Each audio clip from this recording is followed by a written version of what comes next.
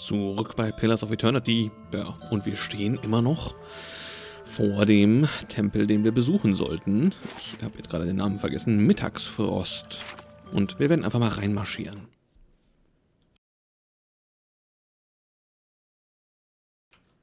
Und habt ihr es anders erwartet, aber es gibt einen Ladebildschirm zum Beginn. ja, großartig. Und einen erstaunlich langen Ladebildschirm. Finde den Frostbruch in Mittagsfrost. Of course. Of course. Oh. Die Bleichelfe mustert dich mit eisblauen Augen. Sie bewegt sich unruhig und knetet ihre Hände. Willkommen im Mittagsfrost. Der Großteil des Tempels ist im Moment geschlossen, wegen heiliger Zeremonien zu Ehren Rümmergans. Sie forciert ein Lächeln und deutet auf die östliche Tür. Der Schrein befindet sich zu deiner Rechten. Du darfst Rümmergant dort gerne ein Opfer darbieten, aber der Rest des Tempels ist dir nicht zugänglich. Erzähl mir ein bisschen mehr über diesen Rümmergant. Sie blickt dich mit zusammengekniffenen Augen an. Du stammst aus dem ewigen Weiß. Wie kann es sein, dass du nichts über Rümmergant weißt? Er ist der Gott der Kälte, der Entropie und des Kollapses. Viele sehen ihn als strengen Gott, doch nur wenige erkennen, dass er auf seine eigene Weise auch Leben gibt. Alle Dinge finden in seinem Schatten zu einem gnädigen Ende, nur um anderswo die Schöpfung wieder zu nähren. Sie runzelt die Stirn und beißt auf ihrer Lippe herum. Aber er ist ein stummer Gott und seine Wege sind unergründlich. Ihm zu folgen heißt, das Unausweichliche ohne Erklärung zu akzeptieren In dieser Angelegenheit und in der Sache des Vermächtnisses scheinen die Götter oft stumm zu bleiben, wenn wir uns am meisten nach Rat sehnen. Ein guter Hinweis.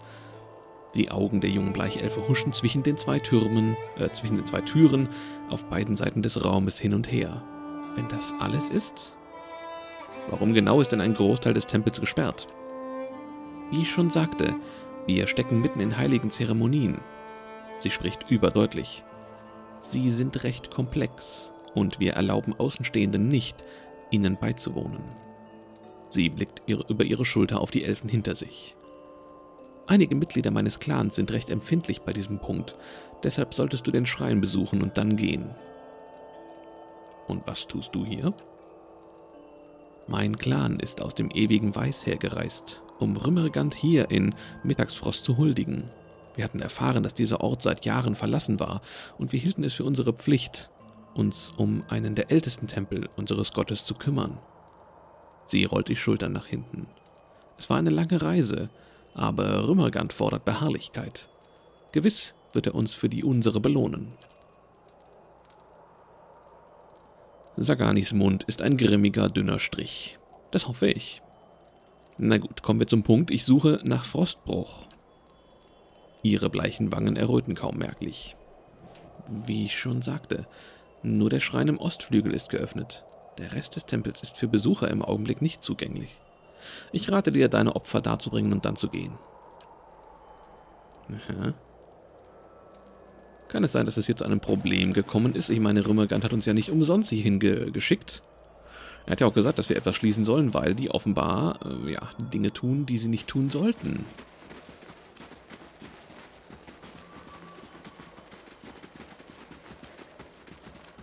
Kann ich wieder nur stehlen. Die Seiten dieses Buches glänzen unter einer dicken Frostschicht. Im Osten hat sie gesagt, ne?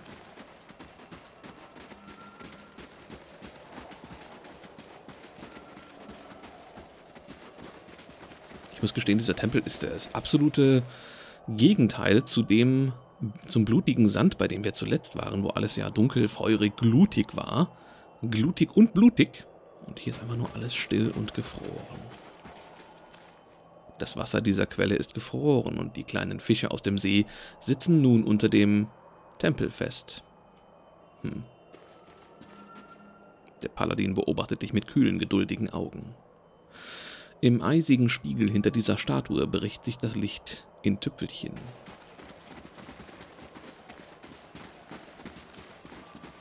Offenbar kann man ja doch mehr bereisen als gedacht. Oh, ich sag's gerade noch. Halt, Wanderer. Es ist verboten, die Türen zu betreten.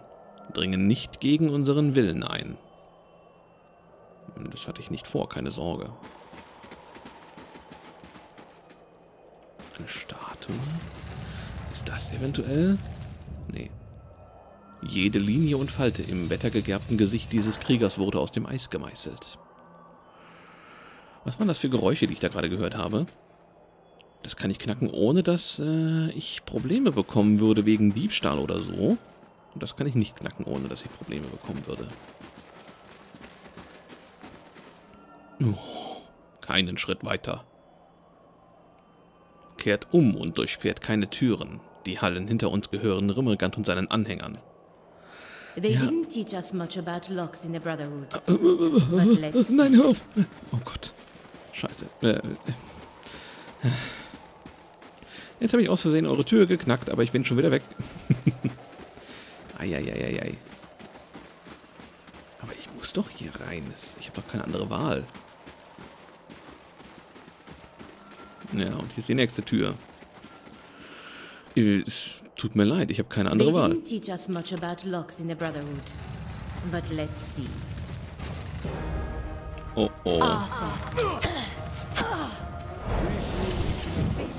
Here.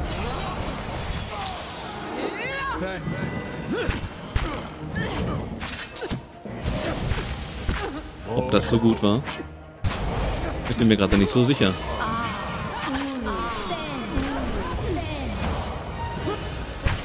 Obwohl, wir müssen ja festhalten, Römergant ist der Gott des Todes und der Vergänglichkeit. Also nicht unbedingt des Todes, aber naja, im Grunde tun wir hier gerade sein Werk, mehr oder weniger.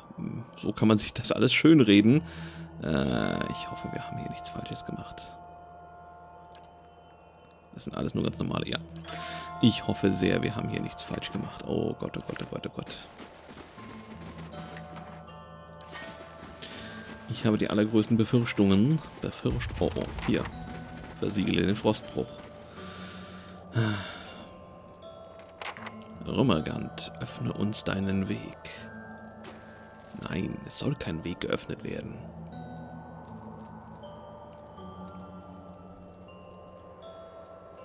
Als du dich der Plattform näherst, wird es plötzlich merklich kühler. Etwas entzieht der Luft auch das letzte bisschen Wärme.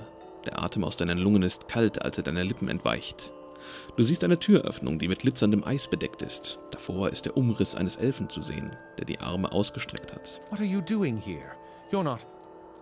What have you done? This useless slaughter, I.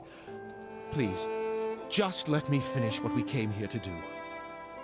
Der Bleichelf blickt dich an. Sein elegantes Gesicht ist von Erschöpfung gezeichnet.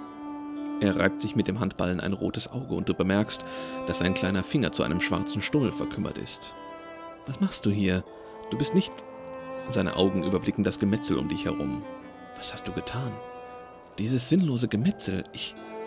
Er blickt wieder zurück auf die Eiswand. Bitte lass mich einfach zu Ende bringen, wofür ich gekommen bin. Rümmergant schickt mich, um den Frostbruch zu schließen. Seine roten Augen weiten sich. Du besitzt Mitgefühl. Möchtest du uns hier noch 100 Leben lang einsperren? Er schüttelt den Kopf. Die Erschöpfung schleicht sich wieder in seine Augen. Wir können so nicht weiterleben. Wir müssen einen Weg in das weiße Nichts finden. Das weiße Nichts? Remergon's domain. A place where all things are mingled like snowflakes in a blizzard. It's a vortex of such chaos that even the beast of winter himself could not calculate the trajectory the infinite particles of essence there. As souls are broken down over successive reincarnations, they become part of the White Void. It is a place where all things find perfect unity and freedom.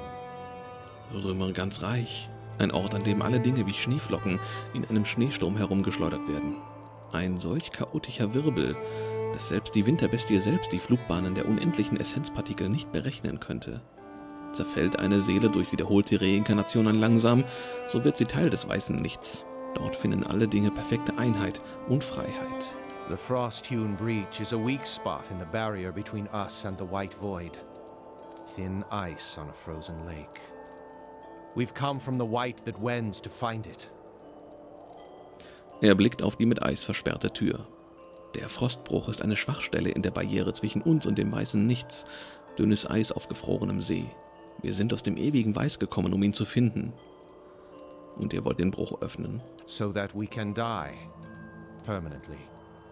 We've lived more lifetimes than any mortal should. We've been faithful followers of Rimergond since our earliest incarnations. He's the god of entropy. Why would he force us to be reborn again and again? Damit wir sterben können.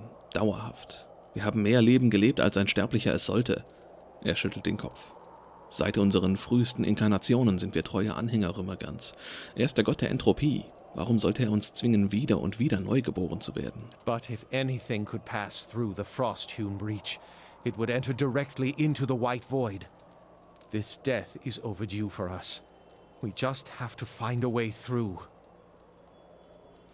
Glaswal streckt sich in Richtung des eisgefüllten Ganges und lässt die Welle der Kälte über sich fließen. Aber wenn etwas den Frostbruch durchqueren würde, würde es geradewegs im weißen Nichts landen. Dieser Tod hätte uns schon längst zuteil werden müssen. Wir müssen nur einen Weg hindurch finden.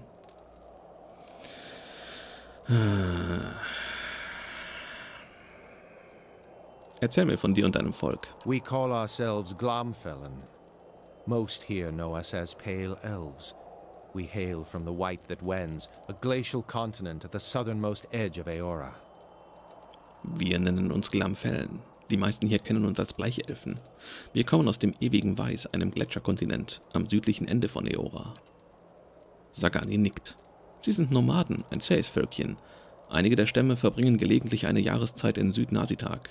We received a watcher in our lands a season ago and paid her to tell us of the origins of our souls. We wanted to contemplate the essence that fills us and consider how Remergond might shatter and sow us once our days are spent.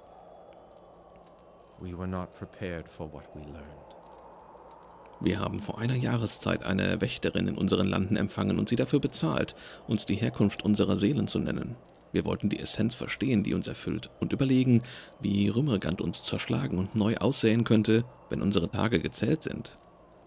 Er beugt den Kopf und drückt seine blutlosen Lippen aufeinander. Wir waren nicht vorbereitet auf das, was wir erfuhren. Die Wächterin wohl auch nicht. Sie erklärte, dass jeder von uns über Jahrhunderte hinweg neu in den Clan hineingeboren wurde, vollständig geformt. Über Generationen hinweg, bis hin zu den ersten Tagen, an denen unser Volk einen Fuß in das ewige Weiß setzte. Wir waren von der Gnade, die unser Gott verspricht, abgeschnitten worden. In jener Nacht begann unsere Erweckung. Wir erlebten Fragmente unserer früheren Leben, alten Hass, tote Leidenschaften, verschlungene Erinnerungen. Es beleuchtete nichts als die Erkenntnis, dass wir dazu verdammt sind, 1000 sinnlose Leben zu führen, ohne Rümmergans Erlösung je näher zu kommen. Erlofs Lippen sind zusammengepresst, dünn und blutlos. Ein dunkler Ausdruck hängt in seinen Augen. Wir wollen sterben, wir wollen, dass Rimmergand unsere Seelen im Äther verstreut, auf dass ihre Millionen Fragmente sich mit dem weißen Nichts vereinen können. Er blickt auf seine Hände und den abgefrorenen Finger. Meine Magie hat bisher keinen Weg gefunden, den Frostbruch zu öffnen, aber es muss einen Weg geben. Man kann sich dem Willen eines Gottes aber nicht widersetzen, zumindest nicht, äh, wenn der Gott wirklich die Kontrolle darüber hat, und die Kontrolle hierüber hat er. Er lacht, doch seine Augen lachen nicht mit. Du glaubst, weil Rümmerkante in einem Traum zu dir gesprochen hat, kannst du hier hereinmarschieren und uns seinen Willen mitteilen? Wir folgen ihm schon so lange und leiden schon so lange unter ihm, wie dieser Tempel steht. Nun suchen wir eben jenes Ende, das er verspricht. Belehre mich nicht über meine Pflichten meinem Gott gegenüber. Hm. Wenn Rümmergant möchte, dass eure Seelen das weiße Nichts betreten, würde er dann nicht dafür sorgen, dass dies geschieht? Ich gebe nicht vor, seinen Willen zu verstehen, und das solltest du auch nicht. Sollen wir noch 100 Leben in Pein leben? Einem Gott ergeben, der sich nicht einmal herablässt, uns einen Grund zu geben? Er seufzt tief. Die Luft zwischen euch wird erfüllt von den Wolken seines Atems. Wir waren Rümmergand so viele Generationen lang treu ergeben. Selbst jetzt ist es, eine, ist es seine Gnade, die wir suchen. Um diese Jahrhunderte sind für einen, der ewig ist, nur ein Augenblick. Er blickt auf die abgehärmten, hageren Gesichter seines Volkes. Wenn es Rimmergans Wille ist, gehen wir zurück in das ewige Weiß. Vielleicht wird er unsere Beharrlichkeit eines Tages belohnen. Sie wenden sich zum Gehen, durch die Eislattenhallen, von Mittagsfrost schlurfend. Tja, umbringen wollte ich die jetzt nicht unbedingt. Ich wollte auch die Damen und Herren vorne nicht unbedingt umbringen, aber sie haben mir keine andere Wahl gelassen. Und Itumak ist unten stehen geblieben. Jetzt ist er bei mir oben, sehr schön.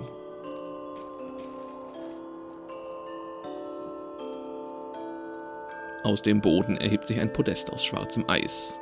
Der Altar wird von langen, fingerartigen Eiskristallen umgeben und durchbohrt, die so hart und klar wie Diamanten sind. In die Mitte des Altars wurde ein Loch gemeißelt. Tiefer als ein paar Zentimeter kann es zwar nicht sein, aber es saugt trotzdem die Luft um dich herum an. Dann schließen wir das Loch. Der Splitter passt perfekt. Während sich seine Position stabilisiert, löst sich die Kälte um den Altar herum auf. Gleichermaßen scheint das Portal vor dir dicker zu werden und das mysteriöse Leck verengt sich. Geschlossen. Der Frostbruch in Mittagsfrost, der nun nicht mehr als eine absolut glatte Eiswand ist, liegt ruhig da.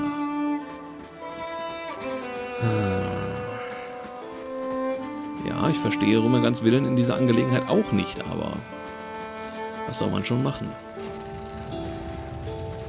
Ich glaube, sie sind jetzt alle weg. Kann das sein? Wenn dem so ist, dann werde ich den Tempel natürlich nochmal weiter erkunden. Man kann ja nie sicher sein, was sich hier noch so alles verbirgt. They didn't teach us much about locks in the Brotherhood. But let's see. They didn't teach us much about locks in the Brotherhood. Ich öffne einfach mal alle Türen, ne? Ein bisschen durchlüften kann hier auch nicht schaden. Ah, was haben wir denn hier?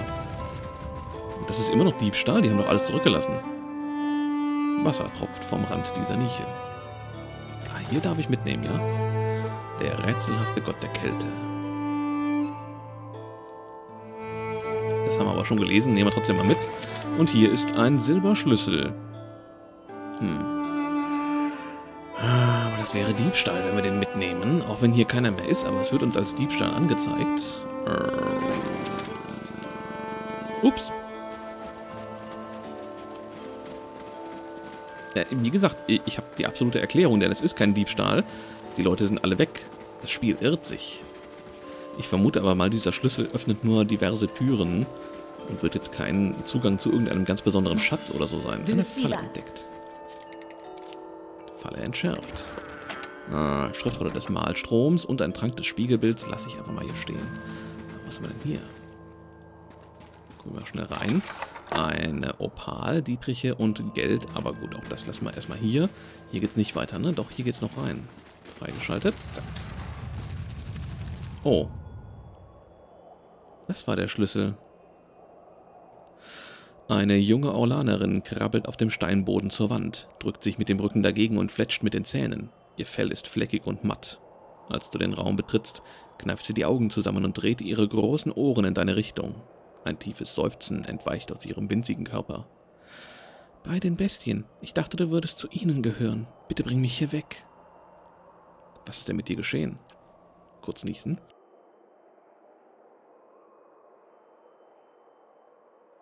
So, schon besser. Als Mondfrost begann, den See einfrieren zu lassen, schickte meine Schwester Lara mich aus, um den Grund in Erfahrung zu bringen. Sie blickt grimmig durch den schäbigen Raum. Die Bleichelfen Estramorn haben mich gefangen genommen, bevor ich Bericht erstatten konnte. Diese Bleichelfen stecken dahinter. Sie sind vor nicht allzu langer Zeit in Zwillingsulmen aufgetaucht und haben gesagt, sie wollen sich ab nun um Mittagsfrost kümmern. Ich weiß nicht wie, aber sie haben den Frostbruch im hinteren Teil des Tempels geöffnet. Es saugt die Wärme und das Leben geradewegs in das öde Reich ihres gefrorenen Gottes. Sie zittert. Jemand muss sie aufhalten. Es ist nur eine Frage der Zeit, bevor die Kälte sich weiter ausbreitet. Erzähl mir von denen, die dich gefangen genommen haben. Sie knurrt, ihre spitzen Zähne blitzen auf. Ein Clan von Bleichelfen aus dem ewigen Weiß. Anhänger von Rimmergand, sagen sie, aber ihr Verhalten lässt auf andere Absichten schließen. Sie kommen kampfbereit, Zauberer, Priester und Paladine. Ein Zauberer namens Glas Wahl führt sie an. Er ist von dem Frostbruch besessen. Meine Ohren hören ihn durch die Wand. Er wirkt Zauber und ruft fremde Mächte an. Ich weiß nicht, was er im Schilde führt, aber es ist gewiss nichts Gutes. Kannst du mir denn was über den Frostbruch sagen? Sie schüttelt den Kopf. Nicht viel. Er hat irgendwas mit Rümmergan zu tun, der Winterbestie. Ich bin eine Anhängerin Galaweins. Lauf los. Sie wendet sich zum Gang, ihre großen Ohren nach vorne geneigt. So schnell, wie mich meine Füße tragen. Sie huscht auf ausgemergelten Armen und Beinen zur Tür. An der Tür blickt sie zu dir zurück. Sie huscht zum Ausgang, an der Tür blickt sie zu dir zurück. Hm, gut. Danke, Estramore, und sei vorsichtig. Sie verschmilzt mit den Schatten. Haben wir noch eine gute Tat vollbracht hier. Ah, diese bronzenen Hallenschellen glänzen frostig. Langsam habe ich das Gefühl, wir hätten die vielleicht doch alle töten sollen. Denn das, was sie hier getan haben, ist offensichtlich nicht das, was sie hätten tun sollen. Oder, ich sag mal, kehre zu Lara in Rachen zurück. Ah, das müsste der, der Galawein-Tempel sein. Ja, die Quest haben wir quasi vorweggenommen. Was haben wir denn hier? Ist das etwa ein... Ein Geheimraum?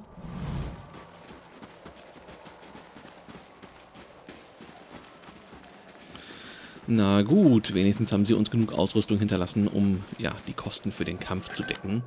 Das ist mir ja immer das Wichtigste. Ach, wisst ihr was? Komm. Es interessiert hier kein Schwein mehr, ob ich was klaue oder nicht. Das ist, äh... Völlig irrelevant höchstwahrscheinlich, denn es sieht uns ja auch keiner dabei. Und mittlerweile, muss ich ganz ehrlich gestehen, nachdem diese Geschichte mir erzählt wurde und wir eine Gefangene gefunden haben, oh, sind meine Skrupel, mich hier zu bedienen, jetzt nicht unbedingt mehr die größten. Oh. Ah. Und was haben wir hier? Oh nein. Aua. Warum hast du die Falle nicht gesehen? Weißläufer.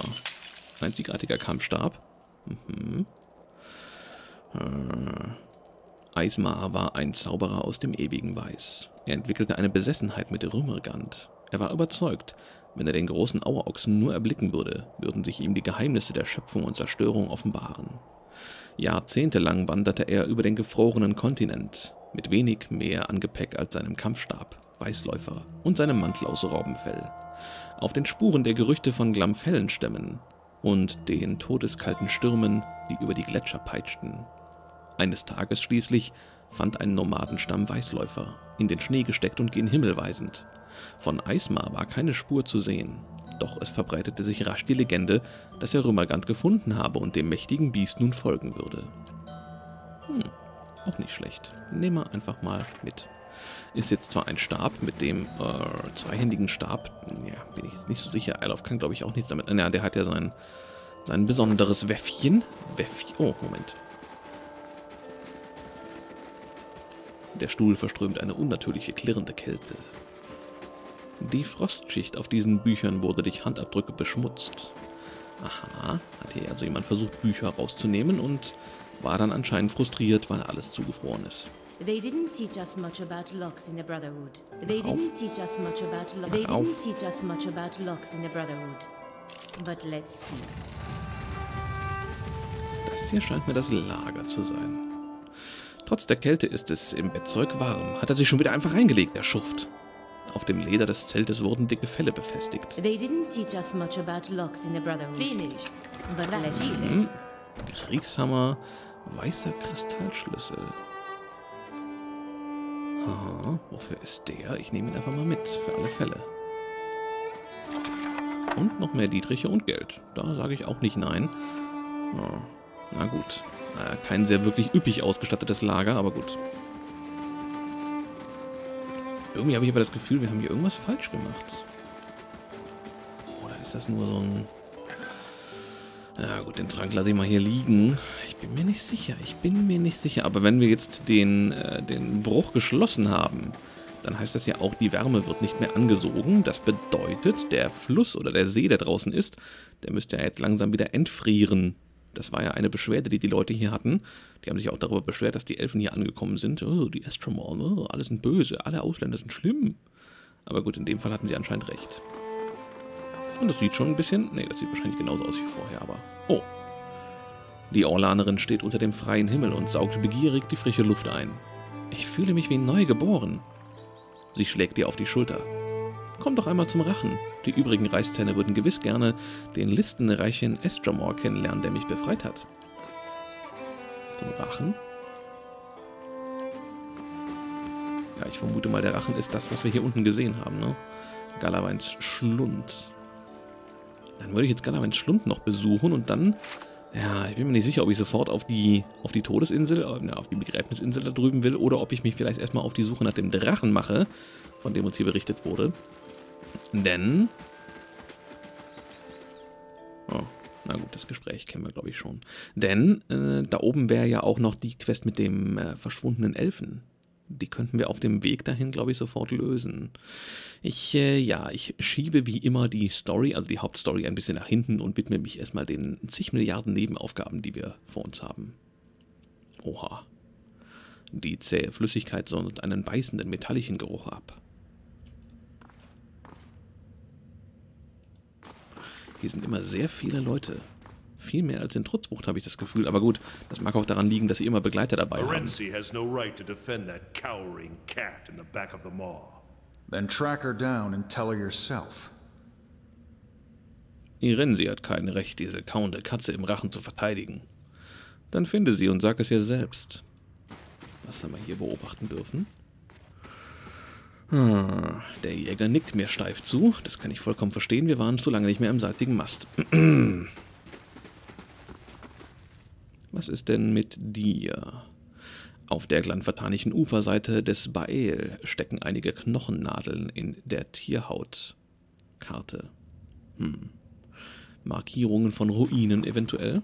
Hier kann man nur klauen, das will ich natürlich nicht. Hallo, Gareth, mein Freund. This is no place for sightseeing, even for you. The beasts of Galloway's Mar are dangerous, and now more than ever. Ein drahtiger Elf schreitet durch die Höhle, sein Gesicht voller Sorgenfalten. Seine Hand schlägt immer wieder nervös gegen seine Hüfte. Er blickt zu dir auf und seufzt. Kareth, dieser Ort ist keine Sehenswürdigkeit, die man besichtigt, selbst für dich nicht. Die Bestien von Galaweins Rachen sind gefährlich, heute mehr denn je. Was ist mit den Bestien? They won't fight. Er bleibt stehen und wendet sich dir zu. Sie kämpfen nicht. Was ist daran falsch? It is not Galawain's way and it is not the way of the Maw. Es ist nicht Galawains Weg und es ist nicht der Weg des Rachens. Der Rachen ist seit jeher die Heimat für ein einziges Raubtier. Von Zeit zu Zeit taucht ein Herausforderer auf und die zwei tragen einen Revierkampf aus. Aber Sul bleibt in ihrer Höhle und Oernos kann sie dort nicht angreifen. Nun jagen zwei mächtige Raubtiere und ihre Verwandten dieselbe Beute. Das dünnt die Herden aus und auch die Geduld der Leute hier. Er läuft weiter auf und ab. Und dieses Warten, es ist nicht das bewusste, wachsame Warten eines Jägers, der im Hinterhalt lauert. Es ist Stagnation, Langeweile, das Hoffen, dass endlich etwas geschieht. Er ballt die Hände zu Fäusten. Aber ich bin machtlos zu handeln. Eine Hälfte der Reißzähne wirft mir Vetternwirtschaft vor, wenn ich die Löwin selbst hinauszuzerren versuche. Ich bin fremd hier und unvoreingenommen, ich könnte der Sache nachgehen. Und kämpferig, wenn ich mir dich so ansehe. Er kratzt sich an der Wange. Es kann wohl nicht schaden, es dich versuchen zu lassen. Alles ist besser als dieses endlose Warten. Wenn du ein Ende dieser Angelegenheit herbeiführen kannst, enden auch die Spannungen. Wenn nicht, er grinst. Werden die Bestien kurzen Prozess mit dir machen. Er überreicht dir einen schweren Eisenschlüssel. Für gewöhnlich erlauben wir Fremden nicht, den Rachen zu betreten, aber du verstehst, dass du es auf eigene Gefahr tust, und Suls Löwen werden vermutlich jeden Eindringling sofort angreifen. Dennoch, Vielleicht kannst du sie dazu bringen, den Bären zu bekämpfen. Tu, was du kannst, um dieses Pad zu beenden. Eieiei, was ist denn hier los? Also hier hat wirklich jeder Tempel seine ganz eigenen Eigenarten und das finde ich sehr spannend, denn die Kultur der Glanfataner scheint mir sehr vielfältig zu sein und man hat hier offenbar sehr viele Möglichkeiten, sich so seinen eigenen Weg zu bilden. Und das hier ist Galaweins Rachen. Yes, a den of beasts sacred to the Lord of the Hunt himself. Historically, the greatest predator of Air Glanfath has claimed the back of the Maw as its lair. Lately, however, there's been some dispute as to who should occupy that position. And it's leading to discord among our hunters. Ja, eine Höhle der Bestien, die dem Fürst der Jagd gewidmet ist. Seit Urzeiten beansprucht das jeweils größte Raubtier von ganz Erglandfahrt den hinteren Teil des Rachens als sein Revier. In letzter Zeit gab es aber einige Unstimmigkeiten darüber, wem diese Position zusteht. Er blickt nach oben in die Höhle. Und das führt zu Zwietracht unter unseren Jägern. Äh, erzähl mir was über dich. Ich bin der Anführer der Reißzähne. Wir sind ein Orden von Jägern und Kriegern, die sich Galaweins, äh, Galawein verschrieben haben. Und wir sorgen dafür, dass die Orte der Erbauer rein bleiben. Wir sind kein Stamm, aber wir versammeln uns wie einer und streiten wie einer.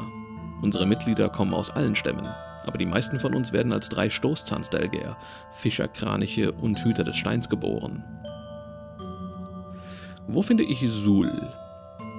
Im hinteren Teil des Rachens. Er deutet auf die Gänge, die sich rechts und links neben ihm erstrecken. Du kommst auf beiden Wegen zu ihr, aber sei vorsichtig.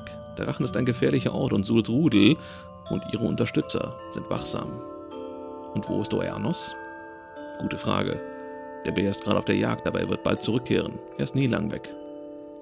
Würdest du Sul oder Oernos vorziehen? Er runzelt die Stirn. Ich sehe beide Seiten. Suls List ist unerreicht, aber Oernos ist der mächtigere der zwei. Beides sind Wesenszüge, die Galawan schätzt. Eanos ist Kraft und Sul ist List. Na gut, dann werden wir hier mal uns ungefragt, nein, nicht ungefragt, wir haben ihn schon gefragt, ob wir uns einmischen dürfen, aber trotzdem sind wir hier natürlich fremd. Und ja, Buch der Jagd.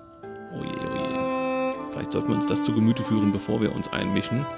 Ja, wir haben ja schon die Erfahrung gemacht, dass es manchmal klug sein kann, vorher Bücher zu lesen. Grundsätzlich ist es sehr klug, Bücher zu lesen. Ich kann nur dazu raten, lest Bücher. Geht jetzt hin und lest ein Buch. Jetzt. Habt ihr gelesen? Ja? Was war's denn? Hm? Na gut. Äh, ja, wir widmen uns diesem Tempel in der nächsten Folge. Ich äh, bedanke mich fürs Zuschauen bis hierhin. Ich hoffe, ihr seid beim nächsten Mal wieder mit dabei wenn wir uns entweder für Sul oder Ernos entscheiden. Ja, bis dahin verabschiede ich mich mit einem fröstelnden Tschüss.